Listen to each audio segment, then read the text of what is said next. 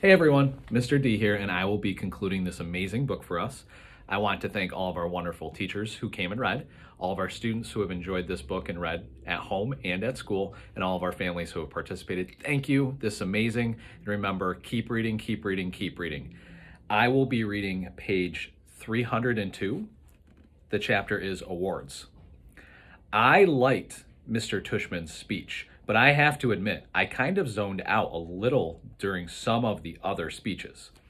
I tuned in again as Miss Rubin started reading off the names of the kids who'd made the high honor roll because we were supposed to stand up when our names were called.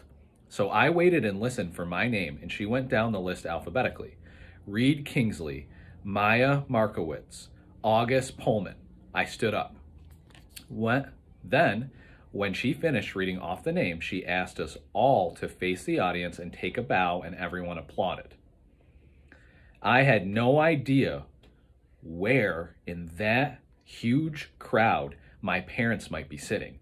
All I could see were the flashes of light from people taking photos and parents waving at their kids. I pictured mom waving at me from somewhere, even though I couldn't see her. Mr. Tushman came back to the podium to present the medals for academic excellence. And Jack was right. Ximena Chin won the gold medal for overall academic excellence in the fifth grade. Charlotte won the silver. Charlotte also won a gold medal for music. Amos won the medal for overall excellence in sports, which I was really happy about because ever since the nature retreat, I considered Amos to be like one of my best friends in school. But I was really, really thrilled when Mr. Tushman came out, called out Summer's name for the gold medal in creative writing. I saw Summer put her hand over her mouth when her name was called. And when she walked up onto the stage, I yelled, Woohoo, Summer, as loudly as I could, though I don't think she heard me. After the last name was called, all the kids who just won awards stood next to each other on stage, and Mr. Tushman said to the audience, Ladies and gentlemen, I am very honored to present to you this year's Beecher Prep School Scholastic Achievers. Congratulations to all of you. I applauded as the kids on stage bowed. I was so happy for Summer. The final award this morning, said Mr. Tushman, after the kids on stage had returned to their seats, is the Henry Ward Beecher Medal to honor students who have been notable or exemplary in certain areas throughout the school year. Typically, this medal has been our way of acknowledging volunteerism or service to school. I immediately figured Charlotte would get this medal because she organized the coat drive this year. So I kind of zoned out a bit again. I looked at my watch, 1056. I was getting hungry for lunch already. Henry Beecher was, of course, the 19th century abolitionist the fiery sermonizer for human rights, after whom the school was named, Mr. Tushman was saying when I started paying attention again.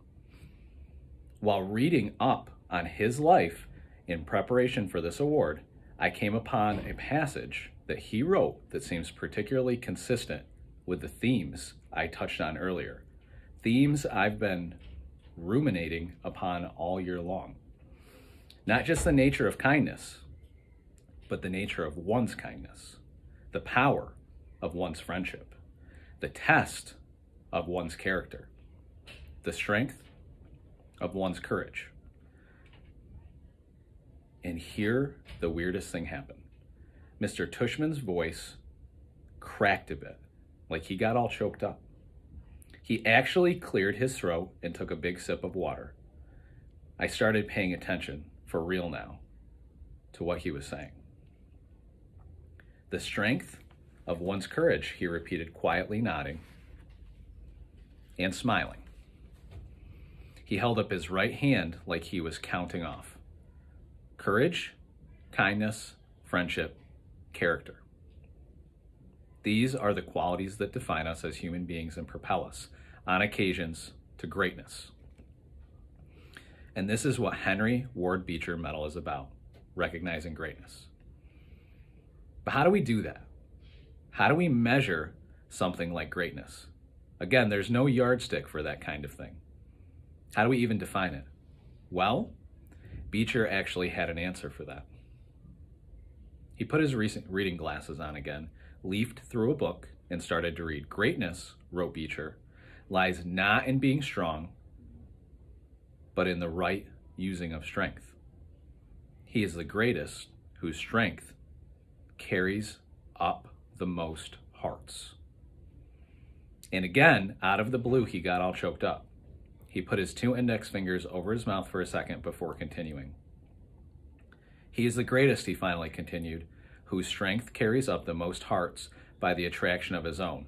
Without further, further ado, this year I am very proud to award the Henry Ward Beecher Medal to the student whose quiet strength has carried up the most hearts. So will August Pullman please come up here to receive this award?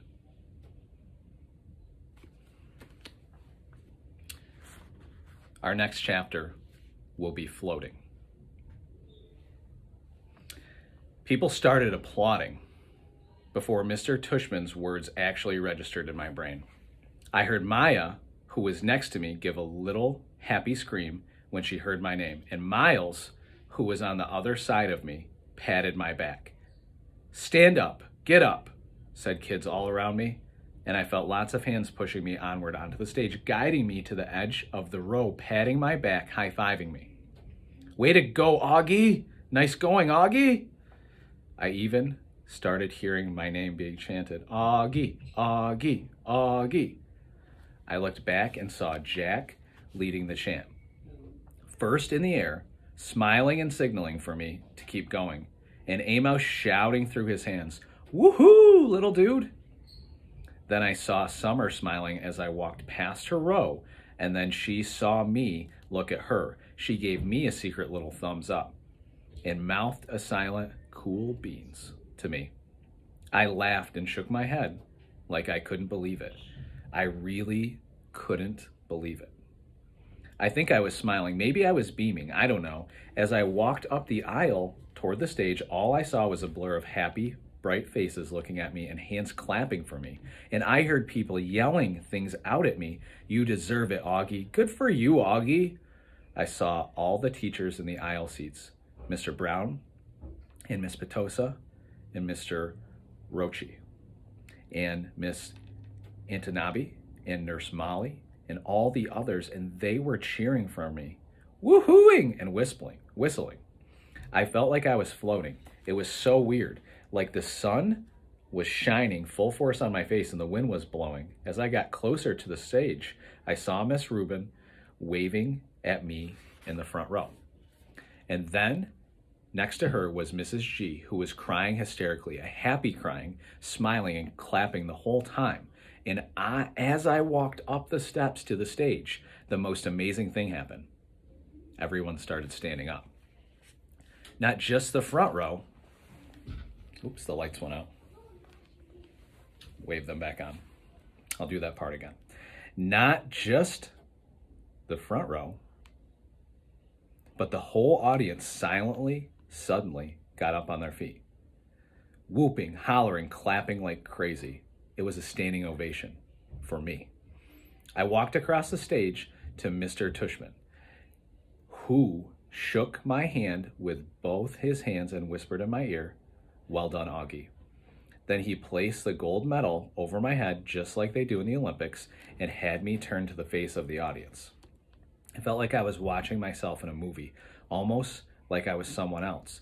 It was like that last scene in Star Wars, A New Hope, when Luke Skywalker, Han Solo, and Chewbacca are being applauded for destroying the Death Star.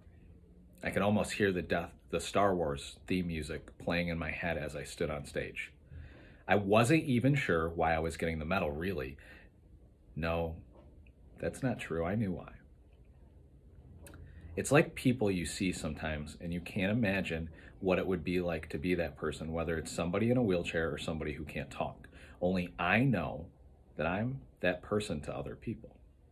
Maybe to every single person in that whole auditorium.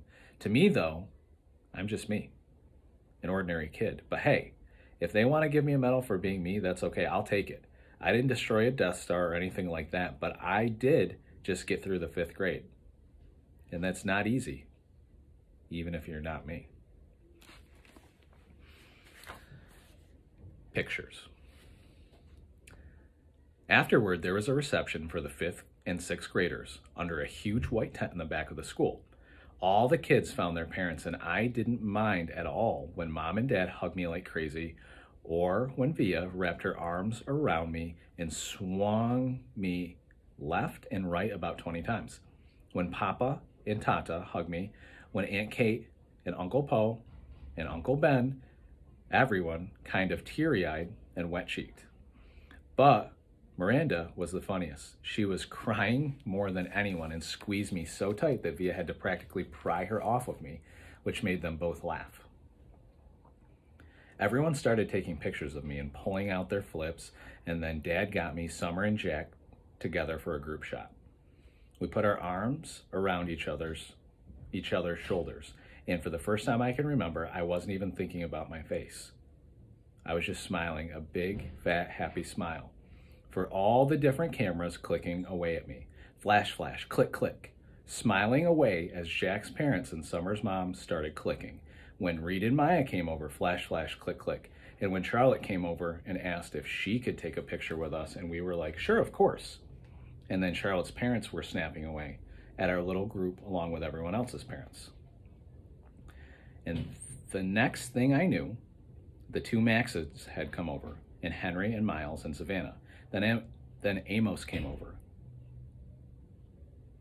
And we were all in this big, tight huddle as parents clicked away like we were on the red carpet somewhere. Luca, Isaiah, Nino, Pablo, Tristan, Ellie. I lost track of who else came over. And everybody, practically. All I knew for sure is that we were all laughing and squeezing and tight against each other, and no one seemed to care if it was my face that was next to theirs or not. In fact, and I don't mean to brag here, but it kind of felt like everyone wanted to be close to me. The Walk Home, which is the final chapter. We walked to our house for cake and ice cream after the reception. Jack and his parents, and his little brother, Jamie. Summer and her mother. Uncle Po and Aunt Kate, Uncle Ben, Tata, and Papa. Justin and Via and Miranda, Mom and Dad. It was one of those great June days when the sky is completely blue and the sun is shining, but it's so hot that you wish you were on the beach instead. It was just the perfect day. Everyone was happy. It felt like I was floating, the Star Wars hero music in my head. I walked with Summer and Jack, and we couldn't stop cracking up. Everything made us laugh. We were in that giggly kind of mood where all someone had to do is look at you and start laughing. I heard Dad's voice up ahead and looked up. He was telling everyone a funny story as they walked down Amesfort Avenue. The grown ups were all laughing too. It was like Mom always said Dad could be a comedian. I noticed mom wasn't walking with the group of grown-ups, so I looked behind me. She was hanging back a bit, smiling to herself like she was thinking something sweet. She seemed happy. I took a few steps back and surprised her by hugging her as she walked. Then she put her arm around me and gave me a squeeze. Thank you for making me go to school, I said quietly. She hugged me close and leaned down and kissed the top of my head. Thank you, Augie, she answered softly. For what? For everything you've given us, she said. For coming into our lives, for being you. She bent down and whispered in my ear, You really are a wonder, Augie. You are a wonder.